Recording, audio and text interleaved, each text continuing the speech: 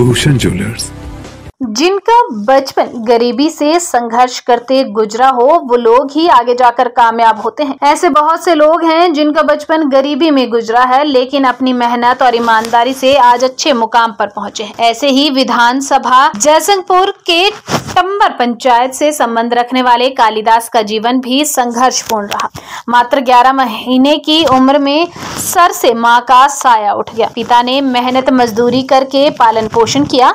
आर्थिक स्थिति ठीक न होने के कारण आठवीं कक्षा में स्कूल छोड़कर लुधियाना में नौकरी करनी पड़ी। कुछ सालों बाद पिता के कहने पर सरकारी स्कूल से दसवीं पास करने के बाद बीए द्वितीय वर्ष तक घर से ही प्राइवेट और बीए तृतीय वर्ष G G D S D college Rajpur से रेगुलर पढ़ाई करके ग्रेजुएशन पास की। कालिदास पढ़ाई के साथ साथ मेहनत मजदूरी भी करते रहे। वर्ष 2000 में बाल विकास योजना लंबा गाँव जिला कांगड़ा में लिपिक के पद से सरकारी सेवा शुरू की और उसके बाद पंचरुखी, मंडी, चंबा, बैजनाथ, पालमपुर लंबा गाँव भवारना स्थित पालमपुर में सेवाएँ देने के बाद अब इनको वरिष्ठ सहायक से तहसील कल्याण अधिकारी के पद पर पदोन्नति मिली है कालिदास अपनी सर्विस के दौरान कर्मचारी राजनीति में भी सक्रिय हैं। महासचिव, पालमपुर के सलाहकार, पंचरुखी में उपाध्यक्ष तथा सामाजिक न्याय एवं अधिकारिता विभाग कर्मचारी संघ के 2012 से लेकर 2020 तक निर्वाचित प्रदेशाध्यक्ष अध्यक्ष रह चुके हैं। इसके अलावा समाज सेवा में भी इनका विशेष योगदान रहता है। जरूरतमंद, बीमार,